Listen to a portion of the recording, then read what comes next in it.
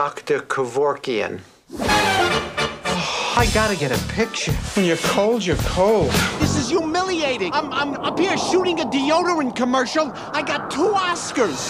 You know who would be perfect to direct this? Val? He's a raving, incompetent psychotic. He's not incompetent. Val Waxman was getting one last shot at the big time. He can do it. You got it. I, I, I smell magic here. Please don't do anything to kill this. Don't worry. I got my hand on the wheel, honey. This picture's in the bank. Unfortunately, you've gotta get over here. This is a matter of life and death. it was a shot in the dark. I'm blind. I'm blind. You're psychosomatically blind. oh no, it's psychosomatic. Sometimes that happens.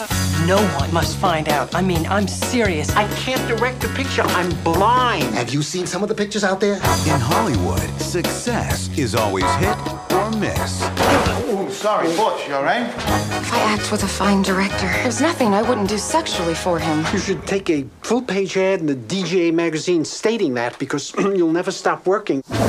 DreamWorks Pictures presents I can see clearly Woody now Allen, the rain You like this one or this one? You want to go with this one tomorrow or the big Yeah, one? that one. That one. yes. I'm sorry. Yes. I'm sorry. What- Yes. George Hamilton, Téa Leoni, Okay, you go straight ahead. One, two. Did I get it? Did I get the chair? Debra Messing, Mark Rydell, Treat Williams. I want to show you what we have in mind for the poster. Oh, this is this is.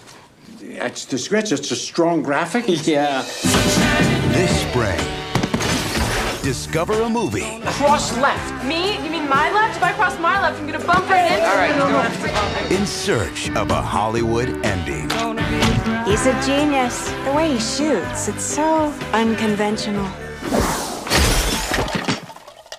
I can see.